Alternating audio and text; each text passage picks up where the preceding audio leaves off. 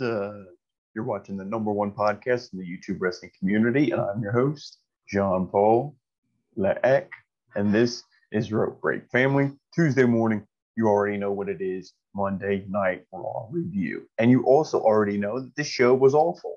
I mean, the only saving grace from this show, I will really say, is that we had a lot of the matches on this show were very long. So, you know, you didn't have to see hundreds of awful segments, only maybe, you know, 50 or 60 awful segments instead. But, you know, still not a very good Monday Night Raw. But before we really get into it, I want to thank each and every one of you guys for all the support, new subscriptions, comments, likes, shares, everything on the videos. We greatly appreciate it. Keep doing what you're doing, and we're going to keep doing what we do. And of course, if you haven't already, this is the start of a new week. Go check out all the content and everything from last week. So let's get into the Monday Night Raw review, shall we? So the show opens up. We see MVP, you know, him, Lashley, all the women and everything. They're in the ring. And MVP says that a dark cloud has been hanging over them called Drew McIntyre.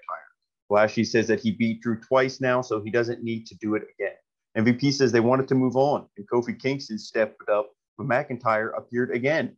So then at this point, you know, when he says that Drew's music hits, he's like, see what I mean? Again, you know, he just keeps reiterating how Drew keeps getting their business. So Drew comes to stage and says his business is getting that title back.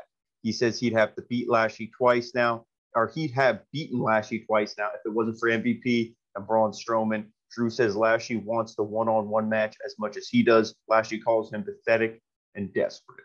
So then Kofi Kingston and Xavier Woods come out. Kofi says he pinned Lashley last week, and Drew says, You're welcome. Kofi gets annoyed and he says he didn't ask for help. He never got a rematch for the WWE Championship from a few years ago. Rematch clauses are non existent anymore, so shut up, Kofi. Adam Pearce then comes out and says Kofi can face Drew tonight, and the winner faces Lashley at Hell in a Cell for a WWE Championship. So then that leads into at least that match wasn't the main event. They already had the main event slated, which awful main event, but you know, at least it was planned ahead and they didn't switch it around like they normally do. But this segment was was, you know, I did like some points and some points I was like pretty annoyed. I like Lashley MVP and everything. And Drew does have a point, you know, hey Kofi, I helped you out. Kofi's like, you know, he had like he pinned Lashley all on his own. So Kofi's an idiot in this segment, but that doesn't surprise me that Kofi's the idiot. And then we get Drew McIntyre versus Kofi Kingston, and of course Xavier Woods is out there. And this match was really good. By the time this was over, it was like 8:30. So, like I said, you know, a really good chunk of the show went to this opening segment and then the accompanying match. And it was good. Drew, you know, he made Kofi look good. He sold for him. But then every time Kofi went into a cover or something like that, it was a strong kick out at one, or you know, barely a two counter. And if you Drew was clearly the stronger, more dominant guy in this match. But I just mean really good stuff. You know, like he dropped Kofi on the apron um, you know, and, and kind of just like a the suplex from the middle rope and everything. You know, Kofi hit his offense, Drew hit, you know, he I think Kofi countered like a Glasgow kiss and stuff. Really good stuff. But at the end of this thing, we return from commercial break and Drew hits a back suplex from the top rope. Yep, like I was talking about. MVP and Lashley, they're at ringside now because they, they were like, we want to watch this match. They had the VIP lounge set up on the stage you know, with all the women and everything they were watching this. McIntyre, he hits a spine buster for a two, then a sit out power bomb for another near fall. Kofi sidesteps Drew, sending him along the ring post and goes up for the top for a frog splash. To the back for a two count. Kofi sends Drew outside and jumps off the ropes onto him, also crashing onto Lashley and MVP in the process. Kingston drags McIntyre inside. He hits an SOS, but Lashley and MVP rush in and attack them both. So we see a no contest, which is, you know, you're thinking, hmm, What's this leading to? Don't worry, this match wanted to be main event so bad, it's probably going to be main event next week. Because then afterwards, Drew and Kofi they fight uh, back, and MVP's tossed outside. Then McIntyre hits a claymore to Lashley, and the Hurt Business retreats. So then Charlotte Flair, she's talked to by Rhea Ripley backstage uh, earlier and told her that she beat her before and she'll do it again. Flair says that Ripley is a lame version of her and she knows it. So Nikki Cross appears and she challenges them both. Flair says that she already has a match, but uh, um, she kind of just like goats Rhea Ripley into taking the match by saying that she couldn't beat her in two minutes. So pretty much it's like a beat the clock challenge, which I thought they were joking with this whole two minutes thing, but they weren't. It's a beat the clock challenge. So Rhea Ripley versus Nikki Cross. So then we get that match, and pretty much Rhea just toys with her. You know, she just doesn't, you know, just like, oh, you're a joke, you know, whatever. You got 30, 40 seconds already go by. Then Nikki Cross starts hitting her offense, you know, big bulldog that she hits from the running bulldog from the corner, you know, big, you know, forearm strikes, elbow strikes, everything. So Ripley gets pissed and then, you know, she starts kicking her ass in the corner. The ref does the five count, like, hey, back off. What are you doing? You know, she lets her go, goes back to stomping her again, and time runs out. So Nikki Cross technically wins this thing. So you see Ray Ripley, she's pissed and everything. So what was the point of this? You know, I feel bad for Nikki Cross. That's the only thing I have to say. So then, you know, she's very excited after the match, and then out comes Charlotte, and then uh, pretty much, you know, she dances past Charlotte, and you see Ray is pissed. Charlotte just waves at her and smiles and gets ready for her match. And you know, this it, it was so stupid. Ray has looked like a joke as a champion. Just, I mean, she's good, and you know, the feud with her and Charlotte's going to be good, but she doesn't. Ever since she lost to Charlotte at WrestleMania, she doesn't feel that legit. Like she is, she's good in the ring. She has the presence, the look, but she just doesn't. There's just something missing. I really don't know what it is. I can't put my finger on it. So then when we come back from commercial break, Adam Pearce and Kofi, they're pissed off. They talk to, uh, I mean, excuse me, Drew McIntyre and uh, Kofi. They're pissed. They storm into Adam Pearce's office and they say next week that they want to have a rematch you know, because they're like, it's not going to go down like this. And he says they will, and don't worry. And he's like, if MVP or Lashley get involved, they're going to be suspended for 90 days, which, you know, he always said was 90 days without pay. It should have been he's going to be stripped of the belt. You know, make it like really extreme because if you're if you can't defend the belt for 90 days, I'm pretty sure you have to forfeit it. So I don't know why they just didn't go to that extreme that oh 90 days without pay. Like these guys don't have money out the wazoo. So then we see Asuka versus Charlotte Flair too, because they couldn't leave well enough alone. We saw this last week. It was a great match. And then, apparently, you know, Asuka wins last week. Or so they have to do it again, is what I was trying to say. But it's like, you know, Asuka won last week. And then, you know, Charlotte wins this week. And then Charlotte's get thrown into the Hell in the Cell match. So what was Asuka's win last week? That didn't mean anything. I know we saw one-on-one match already with Asuka and Reyes. So do we really want to see it again? Eh, you know, do Charlotte. And, and maybe they'll take the belt off Charlotte. Maybe they feel the same way I do, where Rhea is great, but she's missing something. She needs to find whatever piece she's missing, and then she'll feel, you know, real legit again. But she is the future. It's not like, oh, you take the belt off her, she's doomed for the rest of her career. No, she is the future of this women's division. But you need to do something. I think you really need to turn her heel. She needs to have a feud non-title with somebody like a Becky Lynch or something. But see, that's the problem is they only have these three women, Charlotte, Asuka, and Rhea, and the rest of the division is non-existent. But this match, you know, there's pretty much just submission versus submission. Yet Charlotte was working over the legs, Asuka was attacking like the arms and everything, you know. But this match wasn't as good as last week. There was no way they could have followed that. And I mean, it was still good, but last week's match I thought was a lot better. But at the end of this thing, uh, Charlotte catches Asuka in the corner. She hits a backbreaker. Flair goes up top. She looks for a moonsault again, but Asuka rolls. So Charlotte pulls another Andrade and she does the standing moonsault for a near fall. So she does one of his moves. And I believe she did like the back elbow, kind of like, you know, like the Judas effect or whatever, like Andrade does. So she was hitting some of his offense. So that was pretty cool. You see her switching up her moves and everything. And since Andrade doesn't work here anymore, it's now Charlotte's offense instead of Andrade. So you look at that. And then uh, Asuka looks for the Asuka lock, but Charlotte rolls back and then she gets her pin for the one, two, three. So it's like, eh, you know, a sneaky win there, but Charlotte wins. And later on, which, you know, they said that she's going to be in the, you know, she's going to challenge Rhea at Hell in a Cell. So that should be a really good match there. And I mean, I don't, like I said, I don't want to see Asuka and Ray again. So this was what it was, but it makes you think last week's match was useless. And then this week's match all of a sudden was number one contender. So then we see Bobby Lashley. He's relaxing backstage with his ladies when somebody walks in and tells him that Adam Pearce wants to see him. So then Pearce asks Lashley why he screwed up the match earlier. Lashley says he's the only man fit to be the face of Raw. So he was trying to help Pearce by stopping it. Pearce tells him that the match will happen again next week, and if either of them get involved, they will lose a month's wages. So Lashley is forced uh, from the room by MVP because he gets pissed. I believe he actually did say 90 days, so not a month. So, you know, I don't know, but uh, Shelton Benjamin, then he comes out for a match against his opponent, Cedric Alexander. So then Cedric gets on the microphone before the match. If he says that he used to be the best thing in WWE for the past year, he reiterates that they were kicked out of the Hurt business because of Shelton and he says he's young and he'll rebound, but Shelton is past it. You know, like past his prime. And Benjamin, he gets furious. Corey Graves says that Cedric has a personality of a cinder block. You know, he's saying, I'm I'm normally trying to be biased, but I'm pulling for Shelton here. and everything. And then the match, you know, it starts out Shelton really dominates this thing. You know, he looks good in the beginning of. He actually looked good for most of the match. Um, you know, but Cedric, I was w- wondering how they were going to do this. If Shelton was going to go over again, and you're going to push Shelton a little bit, and Cedric maybe, you know, I I don't know what you were going to do with him, but at the end of this thing here, we see uh, Shelton. He grabs him from behind, but Alexander rakes his eyes. Then he connects with a handspring enzuigiri, pins him for the one, two, three. So the ref, he didn't see the eye rake or anything. So it was a cheating win. So maybe I, this feud is probably going to continue, but we I just want want to know what the end result is. It got to be whoever wins, which I wish would be Shelton, you know, from this feud to go after somebody like uh maybe he challenges Bobby Lashley again for the title. You know, that would be something cool. You know, put him in a championship match on a pay per view. I don't know if he ever challenged for the World Heavyweight Championship on a pay per view, or maybe do him and Sheamus like I've been saying. But you know, we'll see where this feud goes.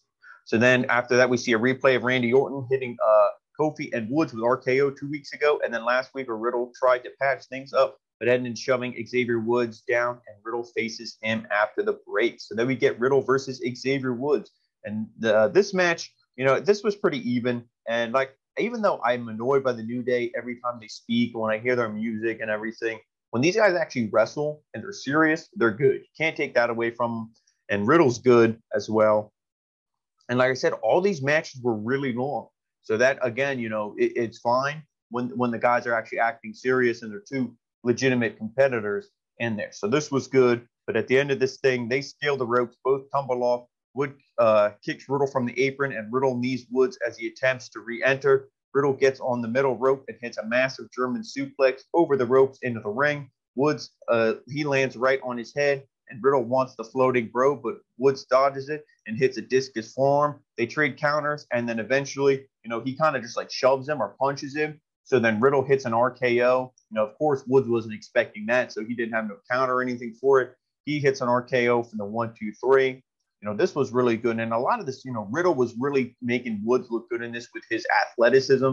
Like he did something where he pretty much jumped up and Woods caught him on his shoulders and hit like a German, hit like a suplex of his own or something. And that was all Riddle. That wasn't Xavier Woods lifting him up. That was all Riddle. So, I mean, you know, really good match and the right winner here. And I love how he used Randy Orton's finisher, kind of be like, yeah, him and I are bros. Screw you guys.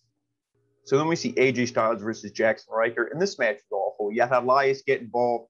He, you know, he takes out AJ, and then Jaxson Ryker gets the, you know, gets the real quick, easy win. And th- this was bad. I don't understand why you do this to AJ, why you present him like a joke. Corey Graves even said before the match, oh, he's probably the best competitor of the last decade. Is he? Not the way you present him here. So this was bad. I'm not even going to, the match was really short. It wasn't even a match, if you ask me. And like I said, you see Elias, he's hiding behind the timekeeper barricade. He comes out, uh, almost comes after him. He stands over him, chases him up the stage and everything. So we're going to see this feud continue. Does anybody care? No. This is. I'm sorry, but this is just awful. This is. You know, you you're pretty much at like saying, AJ, do you, do you really want to leave? Because you know we're going to treat you like shit. You know, I don't understand why you have one of the best talents in the world and this is what you do with them. So then we see a replay of Sheamus' recent troubles with Humberto Carrillo, the United States champion, comes to the ring where he'll face Humberto next. So then we see Sheamus versus Humberto for like the what third, fourth time again, you know, Humberto's really good, lucha style. I feel like the guy is like he can turn off gravity. The way he floats in the air is real like smooth and everything, almost like Kurt Angle, but even better. You know, it's just like the guy just weightless. But you knew Sheamus was gonna win. You know what? I don't really understand what this whole feud is, especially with you know Ricochet and everything coming in. Because at the end of this thing, you know, as you see uh, Carrillo when he starts getting some offense and everything, he does he dives through the ropes with a suicide dive, then back in. He hits a huge flying elbow. Like I said, he he was pretty much t- touching the roof of the Thunderdome. This dude can fly. Like, you know, he hit the big elbow for a two count, and then he wants a wheelbarrow, but Sheamus grabs him and pretty much sits down on him. One, two, three. Sheamus wins, and as soon as it ends, he starts beating Humberto up and everything. Then Ricochet comes in. He hits a huge drop kick off the top rope. Uh, then Carrillo super kicks Sheamus. Ricochet hits a springboard moonsault and then, you know, they hit another moonsault on top of him, you know, and then finally Ricochet lands a 450. Sheamus rolls from the ring and holds his rib. So, you know, he, he couldn't sell it like he was laying in the ring done. He could, you know, he was still able to roll out. So didn't really sell their offense too much, but you know, what are you going to do? A triple threat match at the next pay per view or the pre show match at the next pay per view or something? I really don't know. And they need to do a little bit better to like put Humberto in a match that's, you know, not Sheamus, that he can get a win and get another win, get another win. Same with Ricochet. And then we go, oh, now I can maybe believe these guys beating Sheamus because otherwise they're just losing to Sheamus and, you know, they're losing any credibility and believability that I think they could beat him. So then we see Nia Jax and Reginald and Shayna Baszler. They're backstage and asked about their title match from last week. And uh, Baszler says that they lost because Nia got distracted with Reginald, and Nia argues that Reggie, you know, he just wanted to help. But Shayna tells him if she sees him at ringside, she'll give him something to really be scared of because he was, of course, scared of the Flames, Alexa Bliss, and everything like that. And then we also saw, you know, I, I forgot to mention it the past couple weeks. You'll have to excuse me because it's, you know, probably the worst thing on Raw, and that's saying something. They showed, you know, two promos for uh, Eva Marie. They showed another one right before this match and everything. The same thing, evolution. Oh, or no, I want to be like Angelina Jolie. I want to be a role model. I want to be a heroine. I want to be all this stuff. You know, you look like you're on heroin, so I don't know. But, you know, this, this is bad. She sucks. I don't care. So then we see the women's championship match. And of course, this is all set up. They won the titles on SmackDown. Then they beat them on Monday Night Raw. But then SmackDown last Friday, the they got pinned in a six woman tag match. And then that automatically makes, you know, Shane, or Shayna submitted Natalya, whatever it was. So then that automatically makes them contenders again, just because they don't have any more teams in this women's tag division. So we had to see this match again. And of course, this match was pretty much the same thing we've always seen. You see Natalya, she's the one who really just sells in there. She's the one who does a lot of the, you could say like, you know, oh, it gets beat up. Like I said, a lot of the selling. And Tamina was trying to get in there. She couldn't get in there. When she did, you know, it was like her and Nia, so the same old stuff fighting. Eventually, Reggie comes out. Shayna gets pissed, yells at Reggie. Nia and Tamina fighting on the outside. She's taken out. And then it's pretty much just Natalya and uh, Shane in there. Like I said, Reggie comes out, causes a distraction. She yells at him, like, what the hell are you doing? Get out of here, all this stuff.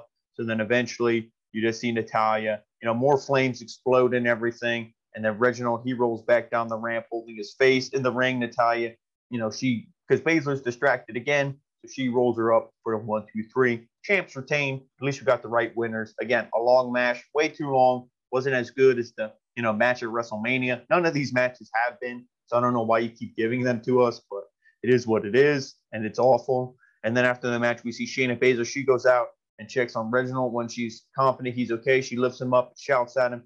Baszler says that she's sick of him and she wants to face him next week. So if he has the balls to face her, she will get make him wish the Flames have killed him. Baszler walks off as the show ends. So that's Monday Night Raw. You know what I mean? The, the show, it's it's not a good show. It's really not. At least the only saving grace here was a lot of long matches so, you know, it's a quick review for me because, you know, talking about this show hasn't been very fun the past couple weeks. You know, it's always more fun when you have Juan here or somebody, but, you know, the, the, the show must go on and he'll be here for NXT, which at least, you know, it's, it's saying something when you say NXT is a breath of fresh air. But, folks, that's Monday Night Raw. Of course, let us know what you think in the comments. Do you like this show? Do you like the direction a lot of this stuff is going? You know, who do you want to see ne- win next week's main event? Kofi, Drew, you know, whoever, tell us in the comments. But guys, thank you so much for watching. And don't forget, follow us on all the social media, Rope Break on Facebook, OG Rope Break on Twitter, Original Rope Break on Instagram, and of course right here on YouTube, the home of the number one podcast in the YouTube wrestling community. So we will see you next time with NXT. Uh, the